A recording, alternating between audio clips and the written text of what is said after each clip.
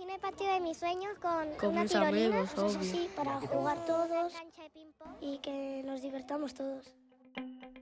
San Cristóbal es un proyecto de barrio y un proyecto europeo eh, marcado dentro del programa LIFE eh, para adaptación al cambio climático.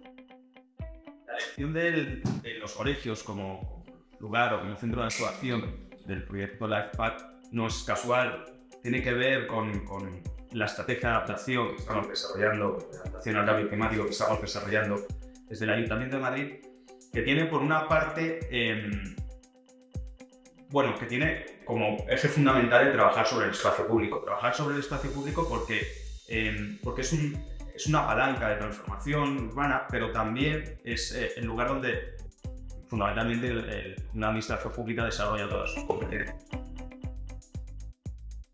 Es el sitio donde puede empezar el cambio. ¿Por qué? Porque es el sitio donde todos ellos se reúnen. Todos normalmente todas las familias tienen niños y es el sitio donde todos se mezclan y también la ciudadanía, los jóvenes y los niños son los que no están influenciados todavía y son los ciudadanos del futuro.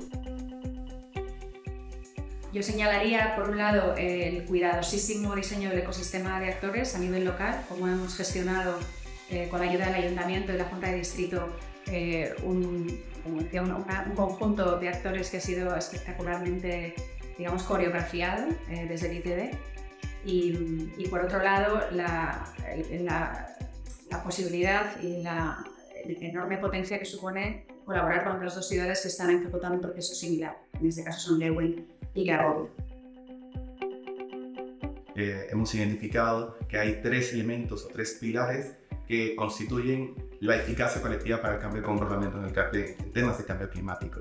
Y son la participación, es decir, cómo podemos crear espacios para que todas y todas podamos formar parte de los procesos de transformación en las ciudades, la relevancia, cómo eh, este proceso de transformación me afecta, afecta a mi familia, afecta a mi comunidad, y también la interconexión cómo este proceso de transformación no solo pasa en mi ámbito geográfico, sino también cómo se conecta con, otras, con otros procesos de transformación, tanto en, en un ámbito local, nacional y europeo.